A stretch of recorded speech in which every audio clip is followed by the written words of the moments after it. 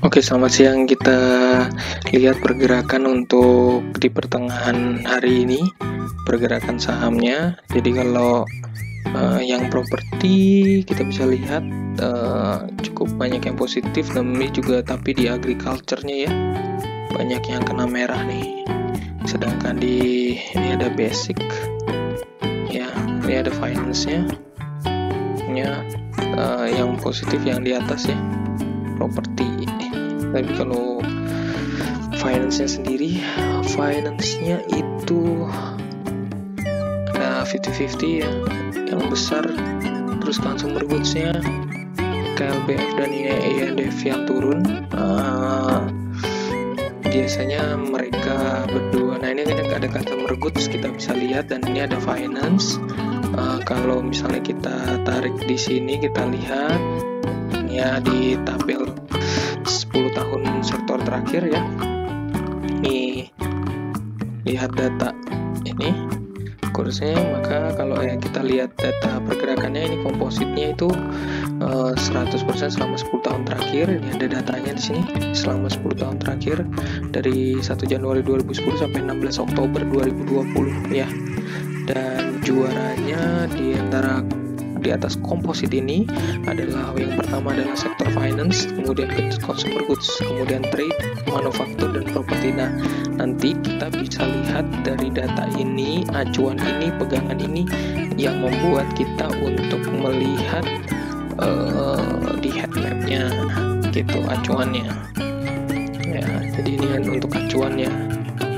Uh, tadi acuan untuk pertengahan hari ini ya, gitu jadi ini finance uh, jadi BPRI turun. Terus kemudian uh, eh, BCA juga ya. Kemudian mana tadi? Consumer goods. Nah ini consumer goods KF yang lainnya. Ini ada turun. KLBF tapi KLBF kayaknya tinggi banget. Oke kita mulai. Kita bahas beberapa saham yang uh, jadi gue lihatnya sejauh mana investor asing itu masuk itu ya uh, ini beberapa list yang gue pilihin saham gak rekomend tapi gue mau tunjukin bahwa lo bisa lihat juga investor asing tuh ketika setelah pandemi itu bikin jatuh uh, lo bisa lihat bagaimana reaksi investor asing saat ini. Nah untuk BJBR sendiri, nah ini gue pilih beberapa. Untuk BJBR udah tanggal 14, 15 udah mulai masuk jumlahnya besar ya. Kita nggak tahu nanti hari ini pasar bagaimana. Untuk mitra di Perkasa sendiri, ini gue pilih ini ada 14, 15 dia udah mulai masuk juga ya. Uh, atau walaupun awal-awalnya ini keluar banyak ya ada terus kemudian masuk kemudian habis itu Unicharm. Unicharm itu gua tahunya ini pembalut wanita ya Unicharm. Jadi dia masuknya dikit-dikit tapi pasti gitu. Nggak ada yang minus keluar kecuali lagi tanggal 8 bulan 10 aja ya. Terus kemudian habis itu nah ini yang gue suka. Ini saham yang bikin kaget sih. Investor asingnya masuknya perlahan positif terus positif positif terus nanti lo lihat secara teknikalnya kalau lo mau nyerok mau ambil ya lo bisa pakai manfaatin. Karena ini data ini bisa untuk uh, dipakai. Jadi positif nggak ada minus yang lucunya ya di SMSM ini. Jadi bisa dilihat nanti secara teknikalnya bagaimana gitu.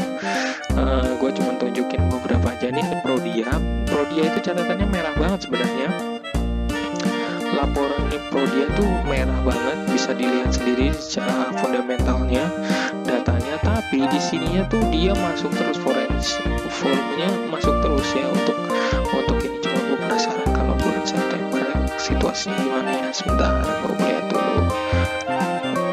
Banyak gitu ya nggak banyak.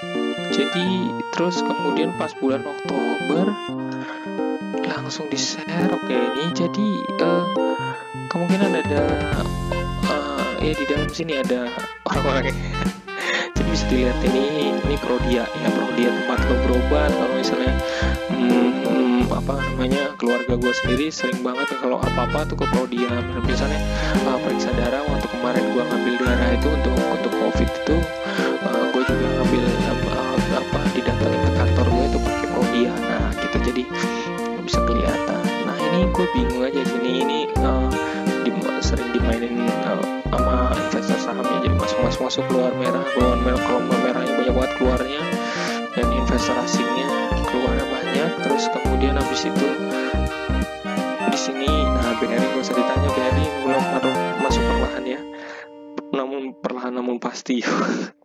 Jadi udah dari tanggal 13 14 15 warnanya hijau ya masuknya. Terus kemudian habis itu Sentral Asia uh, ini selang-seling ya. Jadi hijau merah hijau merah hijau ya jadi turun naik turun naik turun naik ya. Ini kisaran low nya cakep nih kalau udah sampai 30 ribu ya. Gue juga pernah nyampe target 30 ribu ya keluar masuk. Ada ya orang yang kayak gitu ya keluar masuk gitu. Jadi kalau dananya nyampe punya lah andai kata kalau mau milih saham ini ya pastikan duit anda itu ya minimal satu lot 2 juta. Jadi kalau misalnya ini turunin lagi turunin lagi. Tapi kalau buat jangka panjang ya gak usah takut ya. Gitu. Terus kemudian habis itu era jaya era jaya ini jual-jual HP ya di era phone era space ya. Jadi hijau nanti lo lihat dulu uh, fundamentalnya catatannya merah atau enggak nanti lo bisa lihat terus teknikalnya. Tapi kalau dilihat dari investor asingnya dari awalnya di tanggal 2 masuk terus kemudian sedikit sedikit keluar masuk lagi sedikit yang keluar masuk lagi jadi cukup rame pelan-pelan namun pasti masuknya ya gitu. Terus kemudian habis itu uh, map ini map aktif di perkasa ya. Jadi ini kayaknya asing tuh terus konsisten masuk keluar masuk keluar masuk ya hijau merah hijau merah hijau merah hijau merah gitu ya. Jadi bisa kelihatan banget nih. Ya nah karena kalau di Indonesia kan ada ada namanya S hardware ya. Jadi gue penasaran juga jadinya. Coba kita lihat S hardware kalau S hardware ya gitu kan hijau merah hijau merah nih. Merah banyak hijau merah banyak hijau hijau merah banyak. Nah ini tanggal 14 15 nih asingnya keluar gitu ya.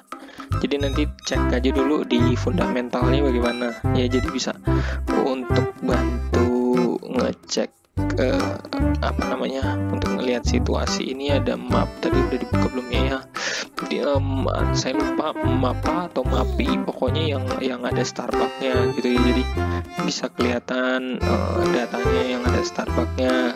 Nah, nanti bisa lihat. Nah buat teman-teman ini yang mungkin belum tahu jadi kalau mau dapetin data indeks data handbook indeksnya teman-teman bisa buka IDX sekali lagi pasti nanti gue harus terus edukasi bahwa semua data tuh bisa dapat di IDX di IDX ini ada data pasar terus kemudian indeks.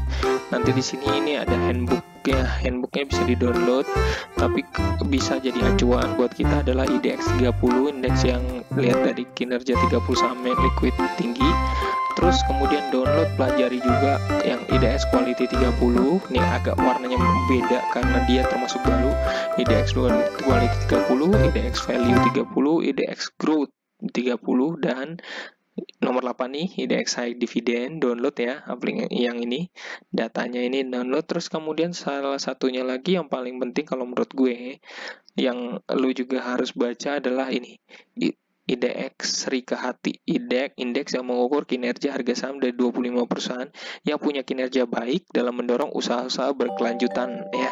Punya kesadaran terhadap lingkungan hidup sosial dan tata kelola perusahaan yang baik sustainable responsibility investment ya. Jadi jadi itu menjadi hal yang penting buat perusahaan-perusahaan yang punya CSR yang lebih yang lebih baik lagi dan nanti bisa dilihat di sini. Ini kalau ini indeksnya downloadnya di mana? Mungkin yang belum tahu ada buka data pasar, terus kemudian habis itu di indeks saham aja di indeks saham nanti di sini tinggal lo download apa yang kebutuhannya tadi ya. Di sini ada bisa nah ini ada ada indeks 30 ya terus kemudian ada uh, yang tadi Sri Hati DX Growth ya. Terus Hidif ini terus kemudian Sri Hati bisa di download silakan. Ya semoga bermanfaat. Salam dari gua lembut abun uh, nantikan jangan lupa untuk follow like subscribe kalau memang ini lu bermanfaat buat lo kalau memang sungguh bermanfaat buat yang lain silahkan sebarkan. Ya asal jangan dijual. Datanya asal jangan dijual buat kita belajar bersama.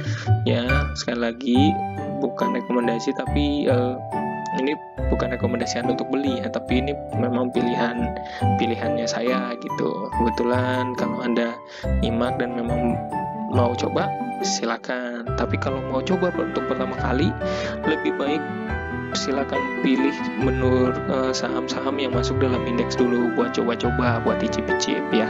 Jangan jangan terlalu nekat beli saham gorengan. Oke salam dari gue itu aja dulu. Thank you bye bye